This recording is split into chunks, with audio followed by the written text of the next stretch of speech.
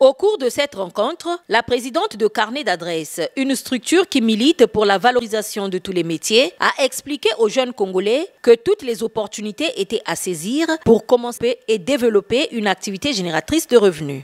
Il y a pas mal de jeunes qui sont au Congo, précisément à Brazzaville, qui sont porteurs de projets, mais qui ne savent pas quelle porte toquer pour commencer, pour se lancer. Donc nous sommes venus les sensibiliser déjà pour qu'ils puissent croire en eux, croire en leur projet et croire en leur pays. Deuxièmement, c'est pour les former. Il faut la formation. La formation est très importante pour aller de l'avant. Troisièmement, c'est pour les orienter. S'en est suivi la présentation par les représentants du FONEA des objectifs visés par leur structure. Et donc nous sommes arrivés pour leur dire que l'État a mis en place cette institution que nous représentons pour les accompagner, non seulement dans leur formation, mais aussi euh, dans la, recherche de financement.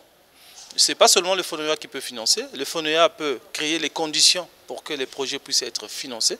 Dans ce sens, euh, l'élaboration des plans d'affaires, l'élaboration des plans de financement, la recherche de financement et euh, l'adéquation promoteur à travers donc euh, les actions d'apprentissage sur des métiers pouvant consolider encore ou renforcer leur performance sur le terrain.